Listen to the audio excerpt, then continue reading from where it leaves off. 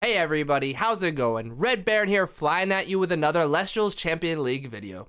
This week, we're going against Werts and his Earth deck. So let's see if I can navigate the forest and continue my win streak. Alright, so here we are, game one, and I open up a really strange hand.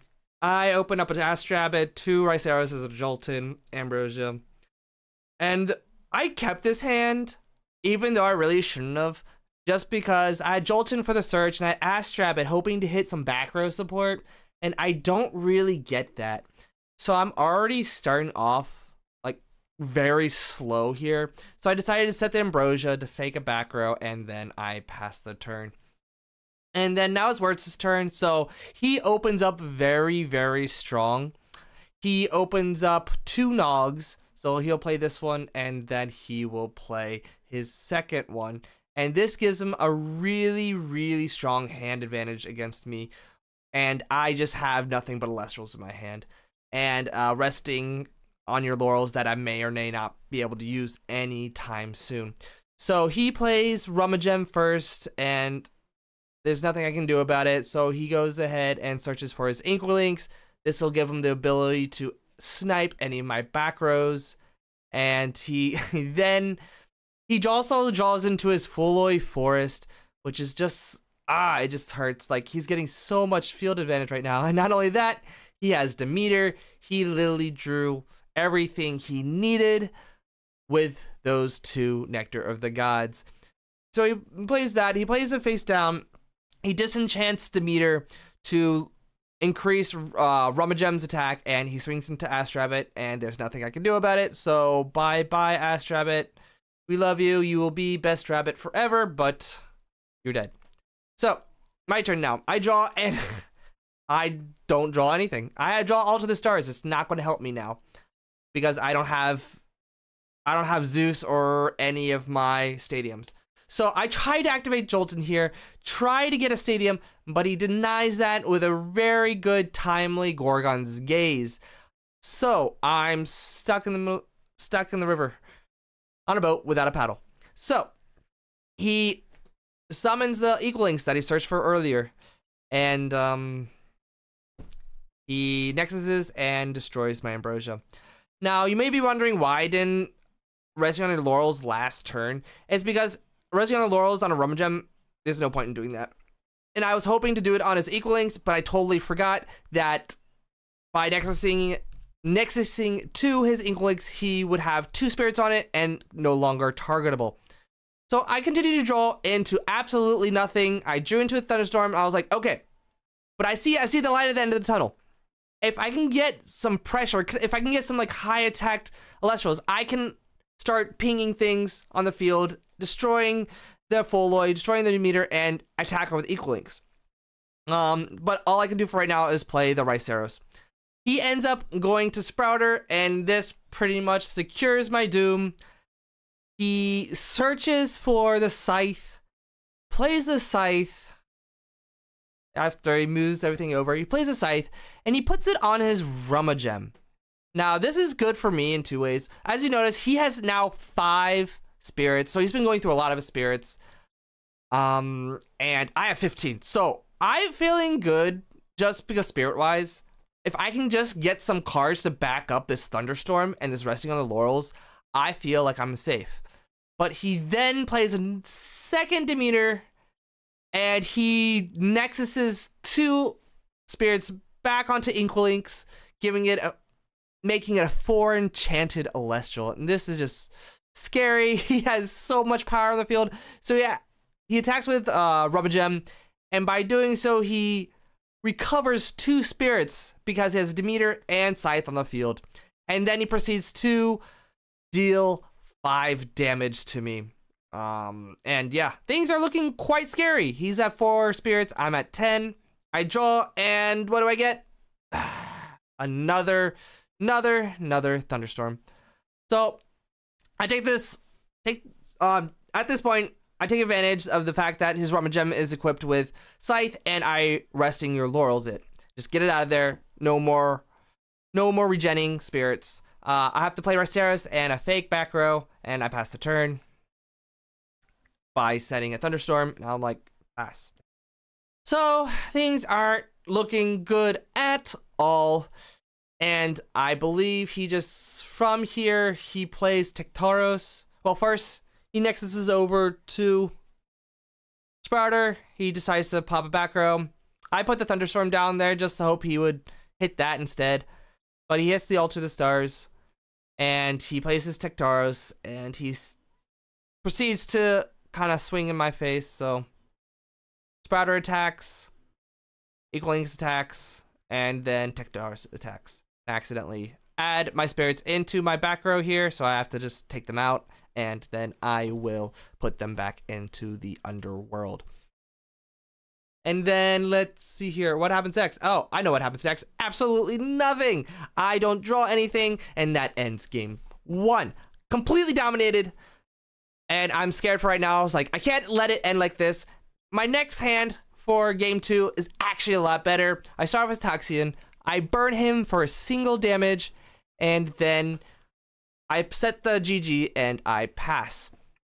He sets a card, and I believe he goes tries to go into Rummagem again.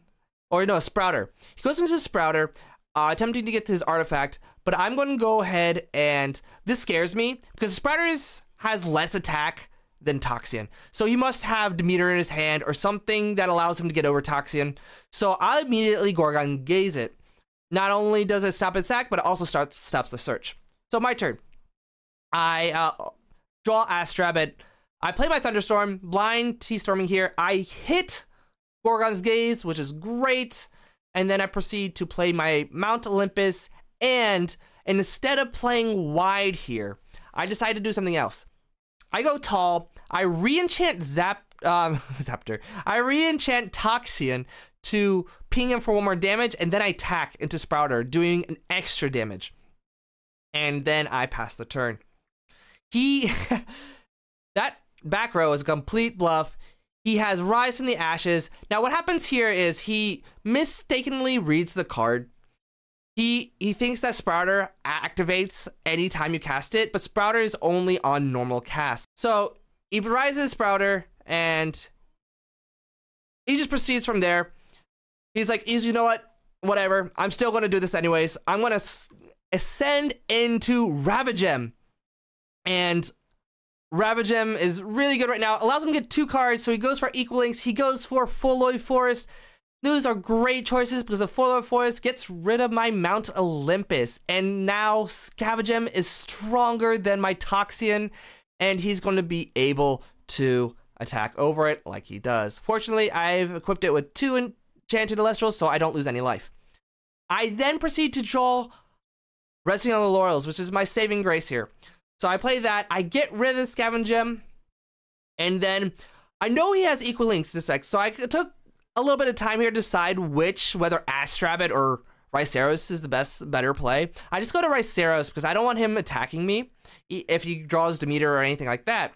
So I play Rhysteros, I get in, uh, get in for a damage, and he then plays another, another Rise from the Ashes, and he, he kind of makes the same mistake.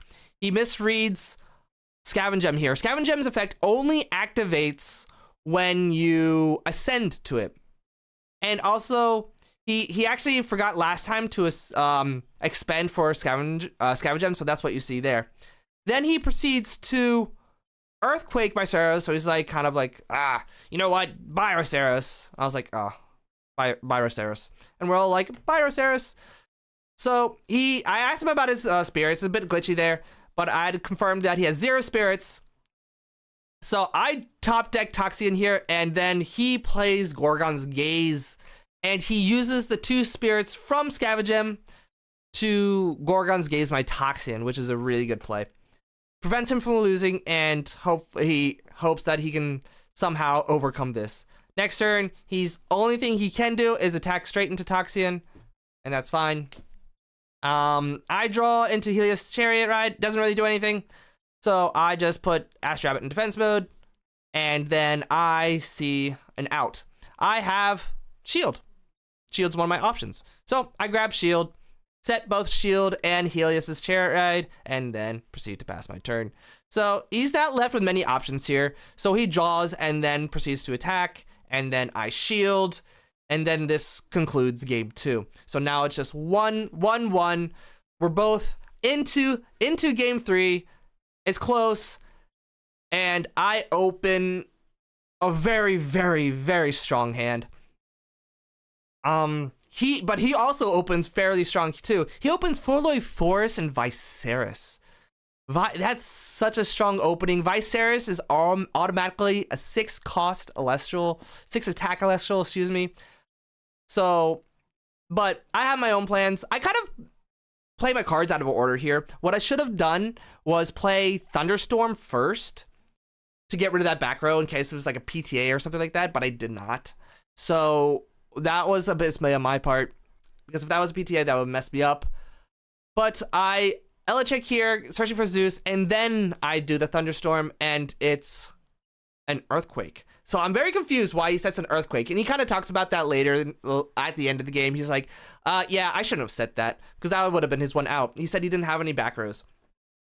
So after I destroy the earthquake, I play Zeus, and then disenchant it, to run over his Viserys, and I set, I set my back rows and I run over the Viserys. I'm really, really liking my my board state here because I have complete control. He tries to rummage him, add to his hand, but I deny him the search by playing my Gorgon's Gaze. I don't want him to get any field advantage, any hand advantage. I don't want him to get any of those equal links to pop my Zeus, so I stop it. And he passes the turn. I draw resting, laurel, un, resting on your laurels. It does nothing here. So I just do the same thing. I summon Riceros, disenchant, and then attack, attack for damage. Now I'm feeling a little bit more safe here because I have Riceros on the field. Even if he summons something, he will not be able to attack immediately. He proceeds to summon another, his second Viserys here. Just so, and it's still a six attack, so I have to get rid of it. I so I PTA it. Uh, field control, and I just hadn't didn't have anything that could get over. So field is clear. I draw again. I draw a second Riceros. So what do I do? I summon the second Riceros. And this is really good double protection because even now, even if he uses his own resting on his on your laurels or earthquake on any of my Riceroses, I still prevent him from attacking any of my other cards for a turn. So here, he summons Tectaros and uses Rise from the Ashes on his Viserys to hopefully stop me from attacking. But I draw Jolton here. So I play Jolton. I search for my stadium and I immediately play it. And this is pretty much the nail in the coffin right here. By playing my own stadium, it gets rid of his Forlorn Forest and I'm able to attack both over. I'm able to attack over both Viserys and Tectaros by disenchanting my Zeus. And I have a full board of Celestials, and he has absolutely nothing. He, compared to game one, this is the complete opposite of what happened. He is in dire straits. He literally has nothing. Five spirits left. He needs to hope for a miracle. He draws. He thinks about what is going to happen about expending spirit, and no, he decides not to because that's the end of game. All right, so that's the end of game four against Werts and his Earth deck. Coming into this, we knew it was going to be a hard matchup, and we weren't disappointed. We ended up losing the first game and continuing to win the second and third game. So, if you enjoyed this match and want to watch me and see if I can continue my win streak and become undefeated in the first Elestrals Champion League, go ahead, hit that like button and subscribe to me, and I'll see you later. Fly high.